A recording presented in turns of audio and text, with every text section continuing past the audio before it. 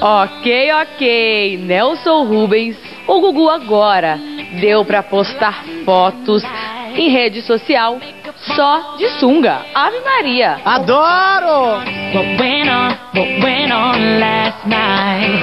Vai ser uma pessoa que vai esclarecer essa mudança do Gugu Liberato aqui pra gente. Camila Vernaglia, acertei o sobrenome? Acertou. uh!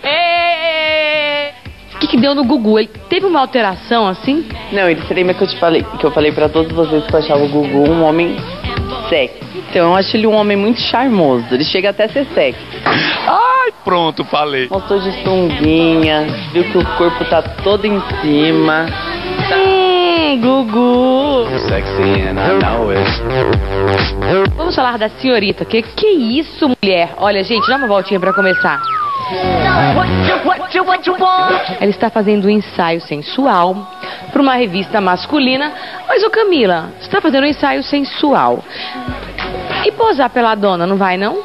Não, eu estou fazendo um ensaio sensual. Não é nada nu. Pra me posar nu, eu tenho que pedir autorização pro meu querido patrão, o Gugu Liberato. Vai pra lá, vai pra lá. Vamos, gente, vamos lançar uma campanha. Gugu, deixa a mulher sair pelada. Tá quase já. O que, que falta? Um pedacinho de pano faz diferença. É verdade. Ela é aquela moça que ficou em terceiro lugar no Miss Bumbum e que tava beijando outra mulher. A Andressa Urach, nosso colega. A Andressa falou que ela não é bissexual, que ela é hétero. Mulher também é hétero e bilógico, né? A gente só vê homem falar isso, mas é tão novo. Ela falou assim que gosta de homem e que foi só uma. supriu uma carência com você. Mas esses dias vocês foram vistas na balada, então eu não tô entendendo mais nada. Tá entendendo? Lá em casa é escondido, então me explica de desenho pra mim. Não é isso. É Iris, para, todo mundo já de Iris agora, eu não aguento mais.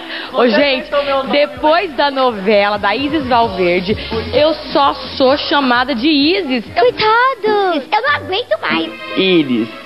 A Andressa ganhou o segundo lugar no Miss Bumbum. Eu, terceiro lugar. Nós trabalhamos muito juntas, somos amigas, tivemos um relacionamento. Para de enrolar, pegou ou não pegou lá? Ui, tô bravo. Pegou, pegou, passou.